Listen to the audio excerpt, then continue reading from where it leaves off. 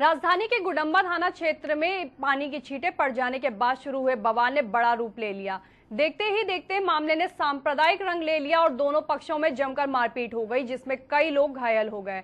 घायलों को उपचार के लिए अस्पताल में भर्ती कराया गया है। सूचना मिलते ही एएसपी सीओ समेत कई आला अधिकारी घटनास्थल का जायजा लेने पहुँचे। तनावपूर्ण हालात को देखते हुए मौके पर भारी पुलिस बल तैनात कर दिया गया है।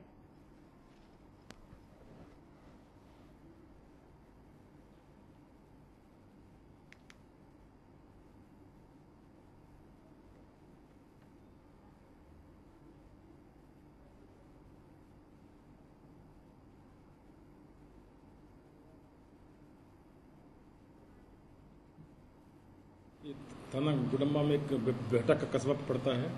वहाँ पे एक आदमी बाइक से जा रहा था, उसकी उसकी छींटे, उसका एक पड़ोसी है, उसके ऊपर पड़े। दोनों में कासुनी हुई और फिर दोनों झगड़ा कर लिए। फिर आपस में उसमें हल्का पथराव हुआ। पुलिस के द्वारा करीब सात, आठ लोगों को इसमें गिरफ़्तार किया गया।